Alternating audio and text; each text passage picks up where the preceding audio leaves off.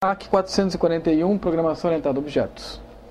Ah, em geral, ah, o intuito da matéria pode parecer meio irrelevante, uma vez que os alunos começam a programar orientado a objeto desde, muitas vezes desde o curso de introdução à computação que é feito em Java. Porém, a programação específica de sistemas orientados a objetos tem algumas características que você precisa de um curso dedicado a isso. E, na verdade, acaba sendo essencial a, o, a cursar essa, essa disciplina para que você tenha uma boa noção do que é um estilo de desenho orientado a objeto correto. Eu acho que a grande questão na, nessa disciplina, quando você programa orientado a objeto, é a questão herança versus delegação. Se você vê a propaganda de linguagens orientadas a objetos, todas enfocam a herança como principal mecanismo de utilização. Agora, o, a herança tem vários problemas, então todo mundo, acho que quase todo mundo sabe, ao chegar no terceiro ano, o que é uma classe, uma subclasse, por causa da experiência em Java. Mas a tendência que a gente tem, se a gente não, numa, antes a gente explorar bastante a tipo de programação orientada a objeto, é usar a herança em demasia. Herança é quando você herda ou você reutiliza o código fazendo uma subclasse da classe anterior. Porém, herança amarra o código. A herança ela é fixa em tempo de uh, compilação. Uma vez que você compilou o código, tá certo? Você não consegue mudar essa delegação e essa já, tá? Então, já a delegação, você reutiliza a funcionalidade criando uma referência a um outro objeto que tem a funcionalidade que você deseja. Você olhar, e a, a, maior, muitas vezes esse tipo de, de mudança não é intuitivo. Eu diria que um dos objetivos principais do curso é você mostrar que o mito de que você basta você descrever o problema e você olha os, os, os nomes são classes e os, e os verbos são mensagens, em geral, essa modelagem rápida é uma modelagem ruim como modelagem final, embora tenha sua utilidade como modelagem inicial. A grande dificuldade de você lidar com orientação objeto é que você tende muito a simular a realidade e não criar um modelo simplificado da realidade para expressar o tipo de sistema que você quer. Como a gente faz isso?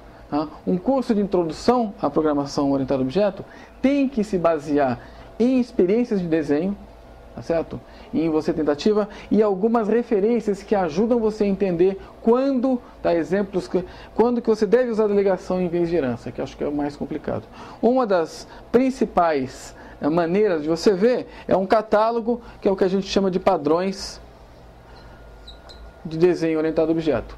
Todo o curso de introdução enfoca padrões, mostrando que algumas categorias de problemas têm desenhos um pouco mais adequados. Tá? Usando muitas das vezes esses padrões favorecem a delegação versus herança. Isso não é uma regra universal. Existem maneiras de você Uh, alguma, algum, alguns casos específicos, herança é melhor que delegação. Herança funciona em geral para você fazer um refinamento de granularidade pequena.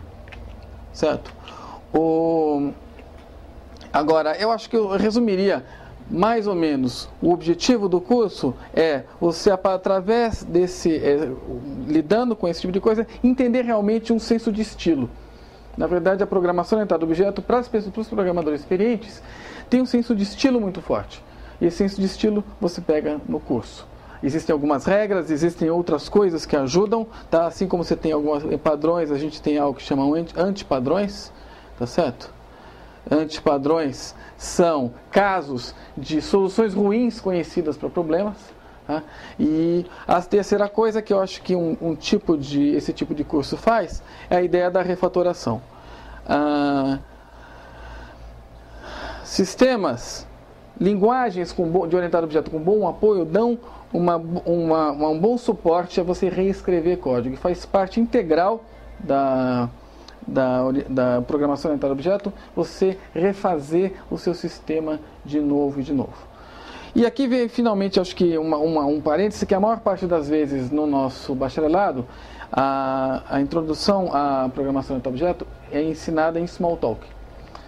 O que pode parecer às vezes estranho, porque a linguagem dominante, eu acho, em orientação a objeto hoje em dia, indiscutivelmente é Java.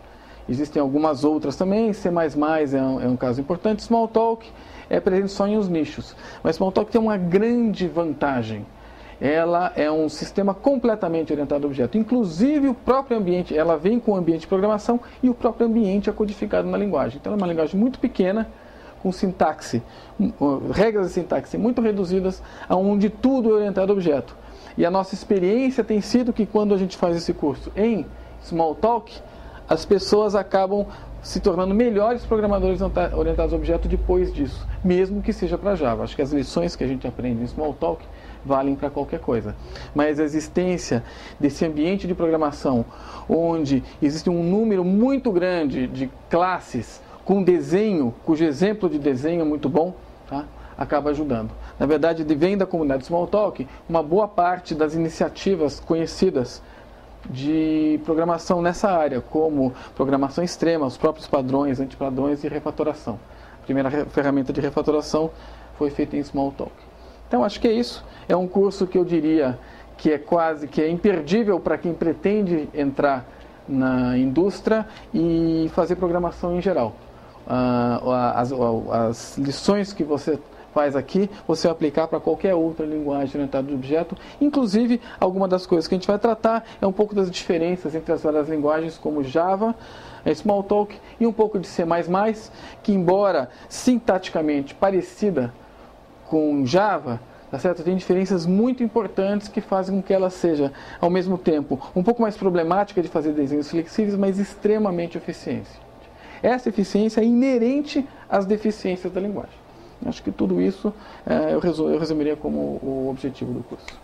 Espero que vocês se matriculem na matéria e se divirtam fazendo, tá certo? Boa sorte. Bem, estou aqui para falar, estou aqui para falar para